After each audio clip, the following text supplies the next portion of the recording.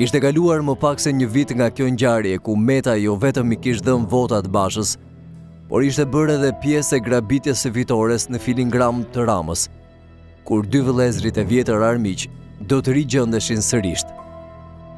Në vilën e Metës në Lalëz dhe me ndërmjetës të dyshimt, ata do të fillonin të thurnin historinë e tyre të re.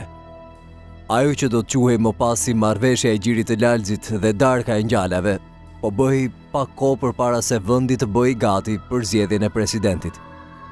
Loja politike me shumë porta kishte filluar.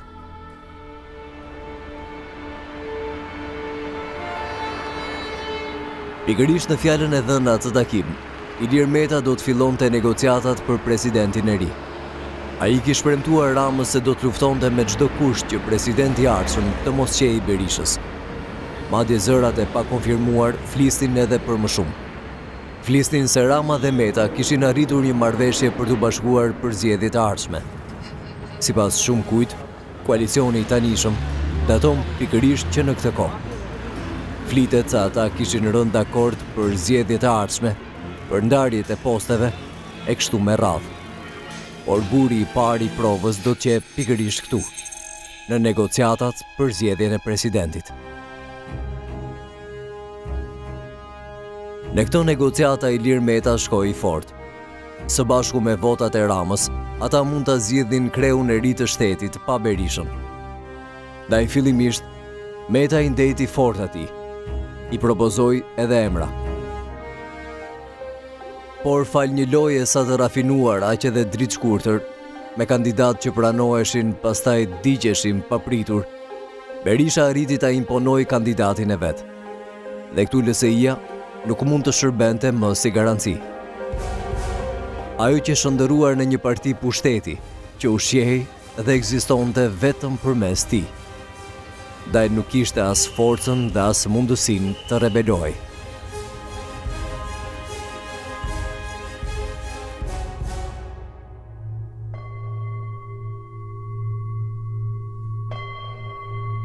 Në zgjedhjen e Nishanit, Ilir Meta do t'i harronte premtimet publike. Ai edhe një herë do të sillej si vasal i PD-s. Do ta tradhtonte edhe paktin me Ramën, edhe atë që kish deklaruar më se një herë se nuk do të pranonte kurrë një figurë të lartë të PD-s.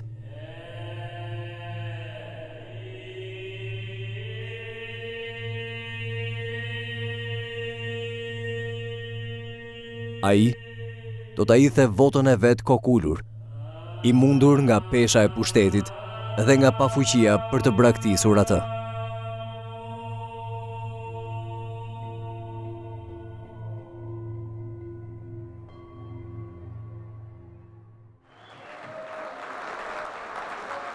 Madje, ai do të qe ndër të parët që do ta uronte kreun e ri të shtetit dhe përzgjedhësit e tij.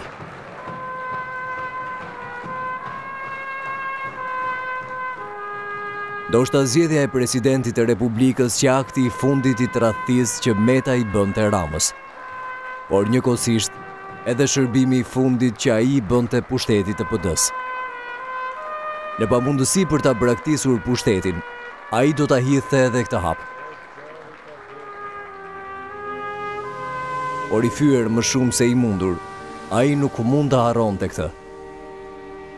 Pa kaluar asnjë vit, ai do të bëhej faktori kryesor në rotacionin politik.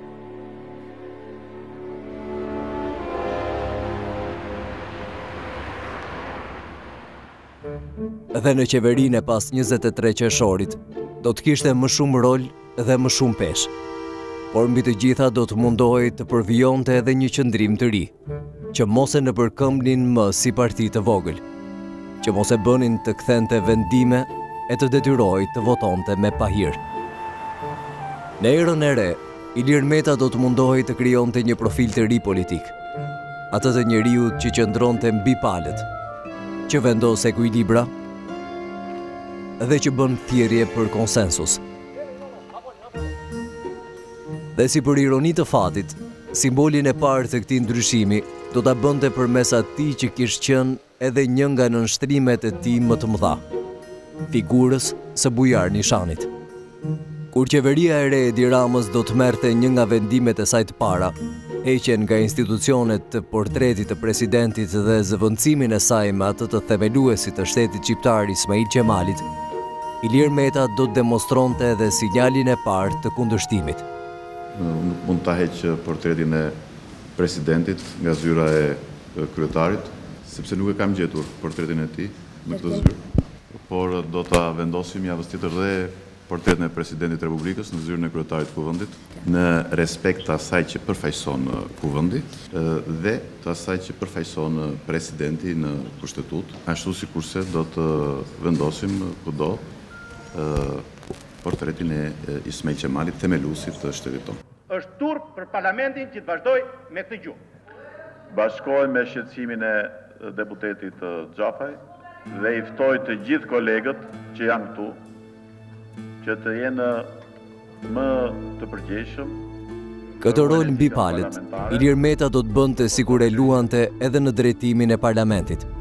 Jam absolutisht në favor të respektimit të plotë të etikës dhe... Njeriu që dikur kapërcente tavolinat, Tani përpiqej të luante tolerantin duke zbutur kërcënimet e kryeministrit të ri. Zoti Berisha, ju lutem.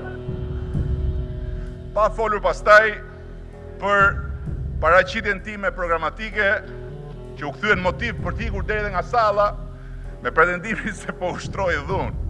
S'keni parë asgjë akoma. E habitshme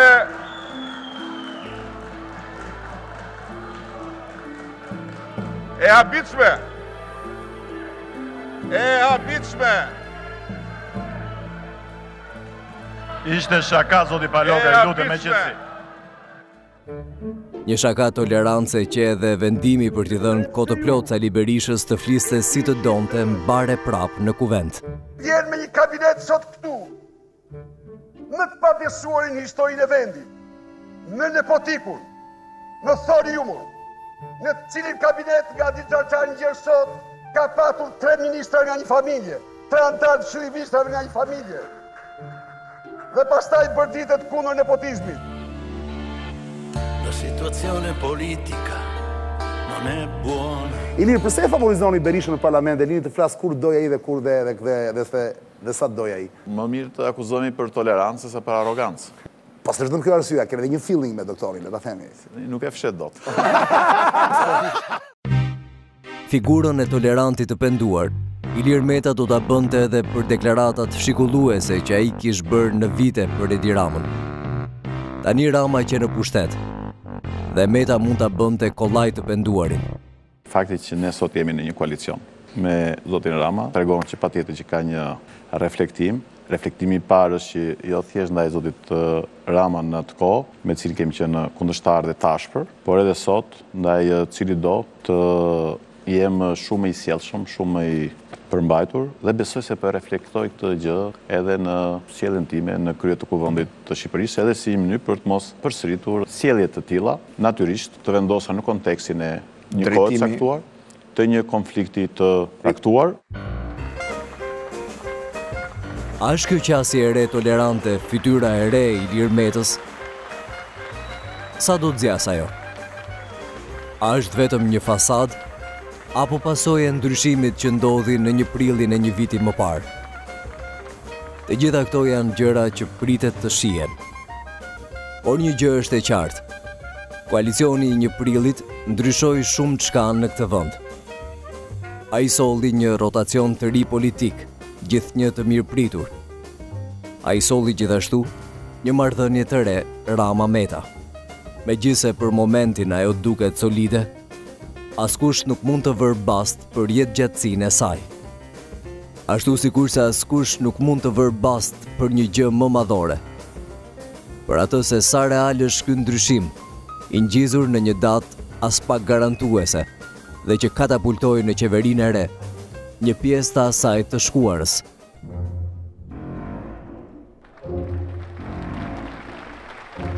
Mos qe vallë ky sinjali i parë se asgjë nuk ka për të ndryshuar. Ende kryetarët që folën në emër të rilindjes pretendojnë të kundërtën.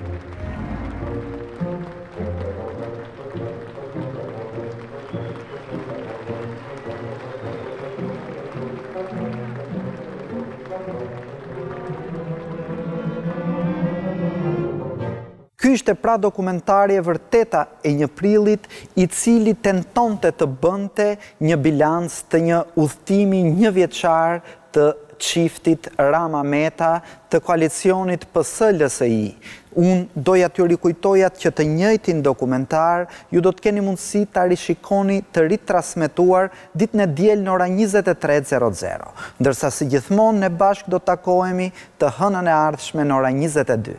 Natën e mirë.